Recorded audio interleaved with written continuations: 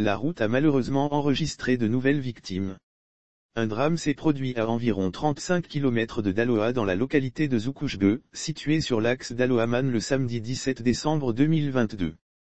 Selon les informations reçues des secouristes, l'un des mini-cars roulait à vive allure lorsqu'arrivé à un virage, il s'est retrouvé nez à nez avec un autre véhicule venant du sens contraire.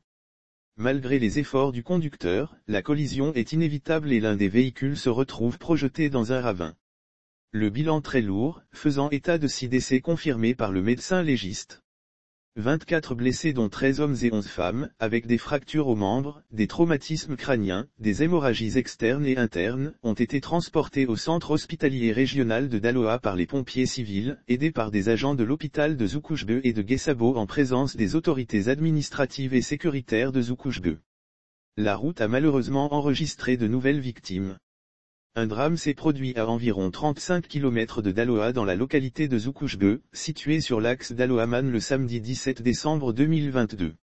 Selon les informations reçues des secouristes, l'un des mini-cars roulait à vive allure lorsqu'arrivé à un virage, il s'est retrouvé nez à nez avec un autre véhicule venant du sens contraire. Malgré les efforts du conducteur, la collision est inévitable et l'un des véhicules se retrouve projeté dans un ravin. Le bilan très lourd, faisant état de six décès confirmés par le médecin légiste.